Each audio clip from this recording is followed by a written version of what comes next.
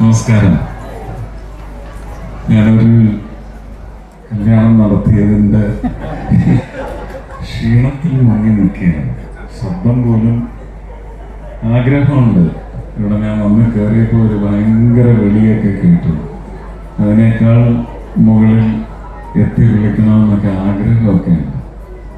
Celebration എന്ന് പറയുന്നതിന് ദൈവം തന്ന ഒരു മാനം എന്താണ് വനം കുളിർക്കെ അനുഭവിച്ച ഒരു അച്ഛനായി തന്നെയാണ് ഞാൻ ഇപ്പോഴും തുടർന്നു കൊണ്ടിരിക്കുന്നത്. അങ്ങനെ ഒരു അച്ഛനായിട്ടാണ് ഞാൻ ഇവിടെ വന്നു നിൽക്കുന്നത്. ശ്വാസിക്കും സ്വന്തം അച്ഛനും അമ്മയും എല്ലാം ഉണ്ട്.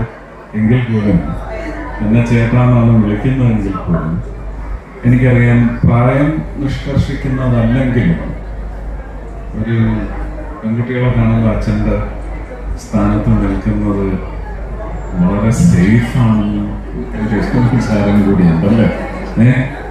ഈ ഇങ്ങനെ ചില ആൾക്കാരൊക്കെ കച്ചയും കെട്ടി ഇറങ്ങിയിരിക്കുന്നത് കൊണ്ട് വളരെ സേഫ് അതാണ്. ഇപ്പൊ തോളത്ത് കൈ വെച്ചപ്പോഴും ഞാൻ അതാണ്. ഇതിപ്പോ ഞാൻ കേസ് കൊടുക്കുന്നു. ഒരുപാട് സന്തോഷം. ഞാൻ രഹസ്യമായിട്ടല്ല. എല്ലായിടത്തും ചെല്ലുമ്പോൾ ഞാൻ ഒരു എന്താണ്? മാരിറ്റൽ ബ്ലസ് എന്ന് പറയുന്നതാണ് ഹെവൻലി ബ്ലസ്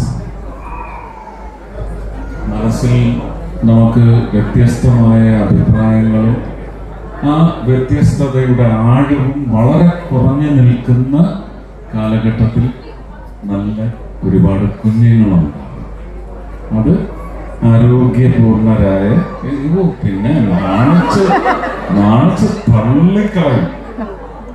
അല്ലേ? വികൃതിയൊക്കെ ഞങ്ങൾക്ക് അറിയാം അപ്പോ നല്ല ആരോഗ്യമുള്ള മന ആരോഗ്യമുള്ള കുഞ്ഞുങ്ങളുണ്ടാവണം.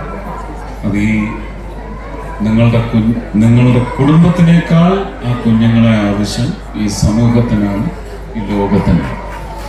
നല്ല പൗരന്മാരായിട്ട് ലോക നന്മയ്ക്ക് വേണ്ടി ലോകത്തുള്ള മനുഷ്യ മണ്ണിന്റെ എല്ലാ ഉൽപ്പന്നങ്ങൾക്കും അത് മരമായാലും മൃഗമായാലും മനുഷ്യനായാലും മണ്ണിന്റെ ഉൽപ്പന്നങ്ങൾക്കെല്ലാം സംഭാവനകൾ ചെയ്യുന്ന പൗരന്മാരായി അവരെ വളർന്നു വരണം. അങ്ങനെ വളർത്തിക്കൊണ്ടുവരാനുള്ള ഒരു കപ്പാസിറ്റി അച്ഛനും അമ്മയ്ക്കും ഉണ്ടെങ്കിൽ ഒരുപാട് കുഞ്ഞുങ്ങൾ ഉണ്ടാകുന്നതാണ് ഈ ലോകത്തിന് നല്ലത്. അവിടെ നമ്മൾ മറ്റ് മാർഗങ്ങളൊന്നും അവലംബിക്കണം അപ്പോൾ നിങ്ങൾക്കും അങ്ങനെയുള്ള നല്ല മക്കളുണ്ടാവട്ടെ. നിങ്ങൾ വഴി ഈ രാജ്യത്തിനും ലോകത്തിനും ഒരുപാട് നല്ല ലോക പൗരന്മാരുണ്ടാവട്ടെ എന്ന് മാത്രമാണ് ഈ വേദിയിൽ നിന്ന് ആശംസിക്കാൻ ആത്മാർത്ഥമായി ആശംസിക്കാൻ എനിക്ക് തോന്നുന്നത്.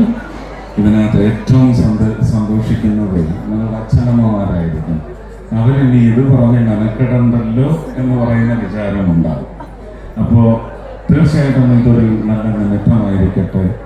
ജീവിതത്തിന്റെ സൗഖ്യങ്ങൾ എണ്ണി എണ്ണി പറഞ്ഞ് ആ ഒരു കാര്യം വൈകിപ്പിക്കാതെ എത്രയും പെട്ടെന്ന് നമുക്ക് അടുത്ത വിശേഷം കൂടി ഇതുപോലെ ആഘോഷപൂർണമായി കൂടാൻ സാധിക്കണം എന്ന് സകല പ്രാർത്ഥിച്ചുകൊണ്ട് എല്ലാവിധ നന്മകൾക്കും വേണ്ടി പ്രാർത്ഥിച്ചുകൊണ്ട് എന്റെ ഈ എളിയ വർത്തമാനം നടത്തുന്നു. എല്ലാവർക്കും എന്റെ ഒരുപാട് സ്നേഹം.